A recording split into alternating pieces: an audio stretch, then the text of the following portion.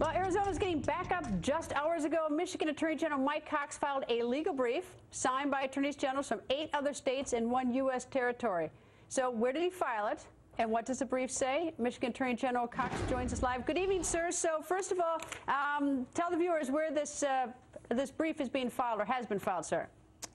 Greta, we filed it in the federal district court in Arizona, where the Obama administration is suing Governor Brewer and the citizens of Arizona. As you indicated, there's a total of nine states.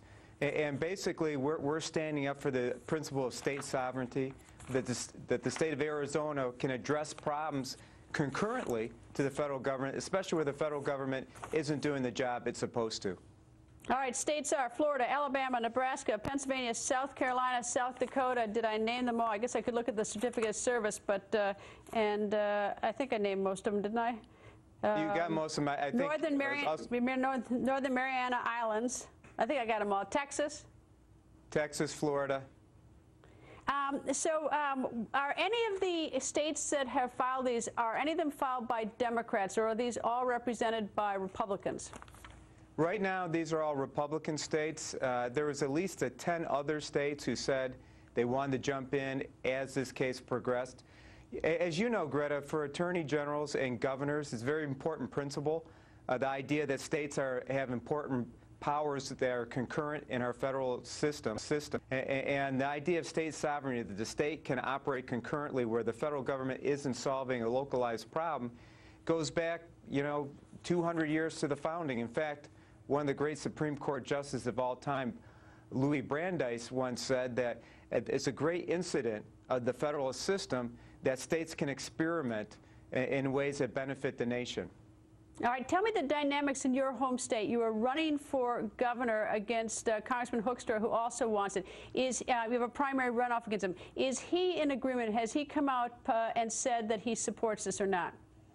I haven't seen anything from uh, Pete at all uh, on this on this issue. Uh, I expect he probably does, but I, I, can tell you that uh, everywhere I go across the state of Michigan, we are a border state as well. People are very worried about what's going on in Arizona for two reasons. The idea that the federal government is falling down on the job and, and that, that Governor Brewer had to step up uh, to, to attempt to fix a problem that the feds are supposed to be taking care of. And then generally the, the idea of, of illegal immigration. You know, we had a terrorist attack, attempted terrorist attack over uh, Christmas, and we are a border state, and people are concerned, as they rightly should be. Have you spoken to Governor Brewer at all? Yeah, so we spoke uh, uh, for quite a while yesterday. Uh, she was very grateful that uh, Michigan and, and, eight other states were joining the fight, uh, standing up for the idea that she's standing up for. Uh, you, you, know, the, the reality is, is is all Arizona is doing is mirroring what federal law already allows. This, the, the, reasonable suspicion, or Section 2, which says if a police officer has reasonable suspicion that someone's an illegal immigrant or undocumented, that they hold them to verify. That Congress passed a law saying that the Attorney General of the United States, Eric Holder, should cooperate with this. Congress has contemplated that states and the federal government would work together in the way that Arizona is trying to do. If this is so obvious to you and the other Republicans who've joined in this, and of course Arizona, why do you think President Obama and his Justice Department filed this lawsuit against Arizona?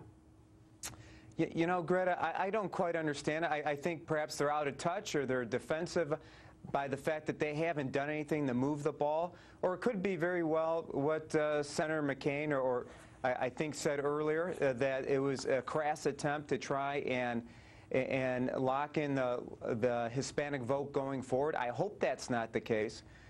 As I expect, there's a lot of Hispanics all across the country uh, who want to stand up for the idea of secure borders and, and the idea that states ought to fend for their citizens when the federal government isn't.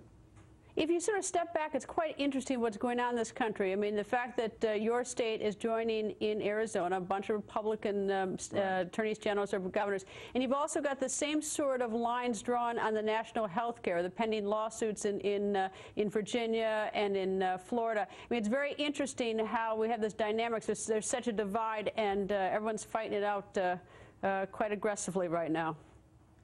Well, I, I, think it's really a matter where the federal government is saying to the states, you don't matter. Uh, you know, they want to control everything, whether it be healthcare policy, immigration policy, even when they're failing.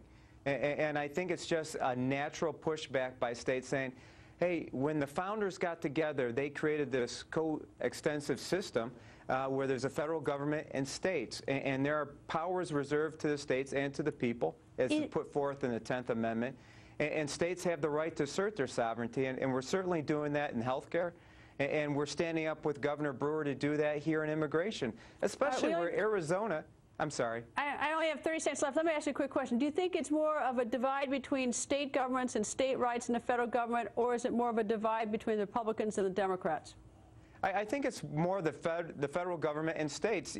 Uh, oftentimes, whether it's fighting lemon laws or, or mortgage, regulation mortgage brokers, uh, attorney generals and governors push back against the federal government. And so this is a, a natural tension that exists in, in our federal system, and a good one, especially where the federal government is letting down uh, here in immigration, and here we have a state stepping forward to try and protect its citizens.